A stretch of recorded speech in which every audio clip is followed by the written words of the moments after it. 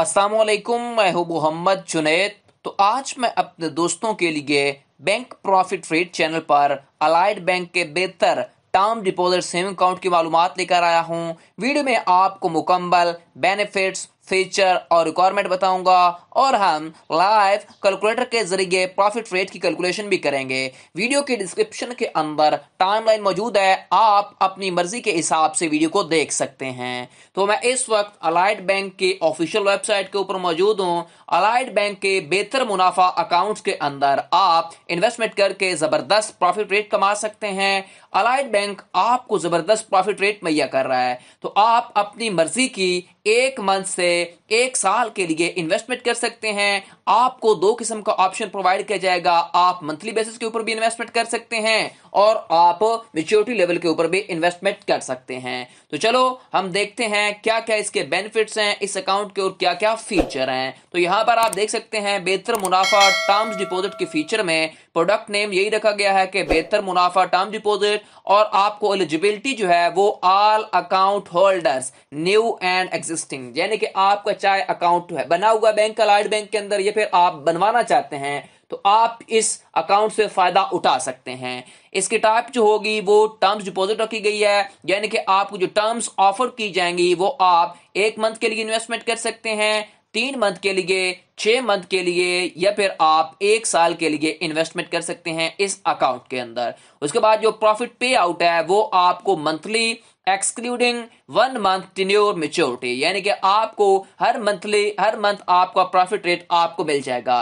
आप किसी भी तरीके से ट्रांजेक्शन से, आप एटीएम कार्ड से या फिर आप चेक बुक से वो पैसे निकलवा सकते हैं। उसके बाद आपको रोल ओवर यानी कि अलाउड होगा आपको रोल ओवर यानी कि आपने अगर फ़र्ज़ करें एक मंथ के लिए इन्वेस्टमेंट की तो आप दोबारा से वो केस रिन्यू करा के दोबारा से एक मंथ के लिए इन्वेस्टमेंट करवा सकते हैं, ठीक है? अगर आपने तीन मंथ की इन्वेस्टमेंट की, आपको प्रॉफिट ज़्यादा मिला तो आप दोबारा से उसे एक्टिव करवा के तो आप दोबारा तीन मंथ की इन्वेस्टमेंट करवा सकते हैं, उसी प्रॉफिट रेट के ऊपर या फिर जो न्यू प्रॉफिट रेट आगा उसके ऊपर, ठीक है? उसके बाद नेक्स्ट देखें, आपके पास जो जक़ात डिडक्शन है, वो आपकी जक़ात डिडक्शन होगी, ठीक है? अगर आप सी फॉर्म जमा करवा देते हैं तो आपसे या कुछ जक़ात से छुटकारा हासिल कर सकते हैं। और आप अगर फाइलर हैं या फिर नॉन फाइलर हैं तो वो भी आपका टैक्स जो होगा, वो भी अप्लाई होगा। इन सेविंग अकाउंट के ऊपर एक बात आपने याद रखनी है टैक्स जो होता है आपका फाइलर का वो 15 परसेंट और नॉन फाइलर का 30 परसेंट टैक्स करता है इन सेविंग अकाउंट्स के ऊपर, ठीक है? उसके बाद आपने नीचे देखें, आपका इंपॉर्टेंट नोट्स है, यहाँ पर देखें all account holder are eligible for बेहतर मुनाफा अकाउंट यानी कि तमाम ऊपर भी बता चुका हूँ। उसके बाद यहाँ पर इंपॉर्टेंट ऑप्शन है। ऑटो रोल ओवर का ऑप्शन मौजूद होगा। आप ऑटो रोल ओवर करवा सकते हैं, लेकिन जो आपको ऊपर चार्जेस वगैरह होंगे, वो बैंक की तरफ़ से अप्लाई होंगे। ठीक है? उसके बाद in case of premature minimum profit loss saving sharing to be applied यानी कि अगर आप कुछ, यानी कि प्रॉफिट करते हैं इन्वेस्टमेंट करते हैं तो उसका आपके देखा जाएगा कितना आपको प्रॉफिट रेट बन रहा है, ठीक है? आपके यानी कि अकाउंट का ख्याल भी रखा जाएगा, आपको प्रॉफिट दिया भी जाएगा और लॉस का भी ख्याल रखा जाएगा, ठीक है? ये बात आपने याद रखनी है। उसके बाद चलते हैं, हम प्रॉफिट रेट को देख लेते हैं। ये प्रॉफिट रेट मार्च में अपडेट हुए हैं, इसी मंथ के अंदर, ठीक है? हर मंथ के अंदर कुछ बैंक हर मंथ के अंदर चेंज करते हैं अपने प्रॉफिट रेट कुछ बैंक जो होते हैं, वो तीन मंथ के बाद चेंज करते हैं, ठीक है? ज़्यादातर जो है, वो हर मंथली आपके प्रॉफिट रेट जो है, वो चेंज करते रहते हैं, ठीक है? उसके बाद यहाँ पर देखते हैं हमारे बेहतर मुनाफा टर्म्स डिपॉजिट के प्रॉफिट रेट यहाँ पर टिन्योर रखा गया है। टिन्योर का मतलब है कि आप कितने मंथ के लिए इन्वेस्टमेंट करना चाहते हैं। यहाँ पर देखें, आप एक मंथ के लिए इन्वेस्टमेंट कर सकते हैं, ठीक है, आपको, लेकिन एक मंथ में आपको मंथली प्रॉफिट रेट नहीं मिलेगा अगर आप मंथली प्रॉफिट रेट की पेमेंट करवाते हैं तो। लेकिन आपको मेच्योरिटी बेसिस के ऊपर मिलेगा फिफ्टीन अगर आप तीन मंथ की इन्वेस्टमेंट करवाते हैं तो आपको मंथली बेसिस के ऊपर फिफ्टीन प्रॉफिट रेट मिलेगा और आप एट मेच्योरिटी लेवल के ऊपर आपको फिफ्टीन आपको मिलेगा। उसके बाद अगर आप सिक्स मंथ की करवाते हैं तो आपको इतना प्रॉफिट रेट मिलेगा। उसके बाद आप अगर एक साल की 500 मिलियन से अबव इन्वेस्टमेंट करवाते हैं तो आपको इतना प्रॉफिट रेट मिलेगा। उसके बाद अगर आप वन ईयर अबव यानी कि 500 मिलियन करवाते हैं तो आपको इतना प्रॉफिट रेट मिलेगा। मेचोरिटी के ऊपर और मंथली प्रॉफिट रेट अलहदा अलहदा है, ठीक है? अब हम निकाल लेते हैं कैलकुलेशन कर लेते हैं, फर्द करें, अगर आप एक साल की इन्वेस्टमेंट करवाते हैं, ठीक है? तो आपको कितना प्रॉफिट रेट मिलेगा? यहाँ पर हम चेक करते हैं। तो यहाँ पर देखें, अगर फ़र्ज़ करें, अगर आप एक लाख की इन्वेस्टमेंट करवाते हैं, एक लाख की हम डिनोमिनेशन ले लेते हैं, ठीक है? अगर आप एक लाख इन्वेस्टमेंट करवाते हैं तो इसको मैं मल्टीप्लाई करवा देता हूँ। फ़र्ज़ करें, आपको मंथली प्रॉफिट रेट चाहिए, ठीक है? 15.90 आपको परसेंट मिलेगा।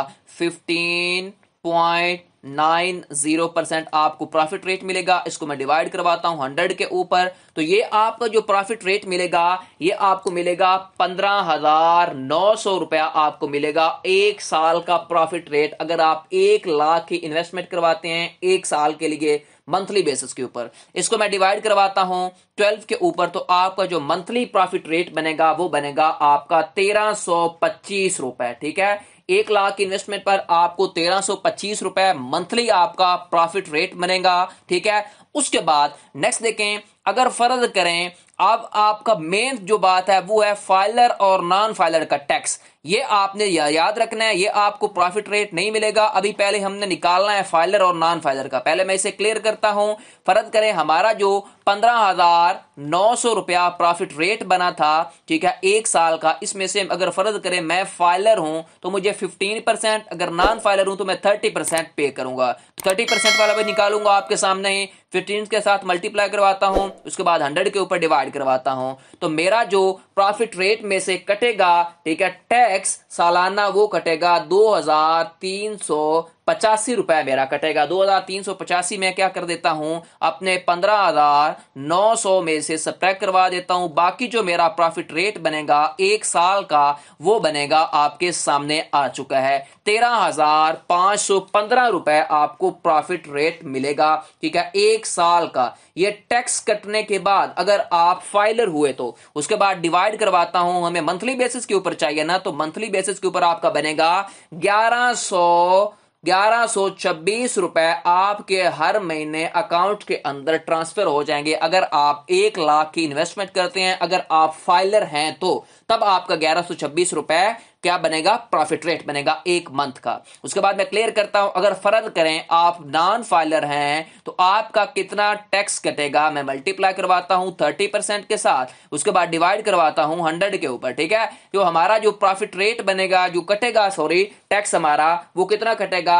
चार हज़ार सात सौ सत्तर रुपए आपका कटेगा, जो आपका प्रॉफिट रेट है। कितना प्रॉफिट रेट था? पंद्रह हज़ार नौ सौ रुपए में से हम सब्ट्रैक्ट करवा देंगे। चार हज़ार सात सौ सत्तर रुपए को सब्ट्रैक्ट करवाया तो आपका जो प्रॉफिट रेट बनेगा एक साल का वो ग्यारह हज़ार एक सौ तीस रुपए बनेंगे, ठीक है? ये बात आपने याद रखनी है।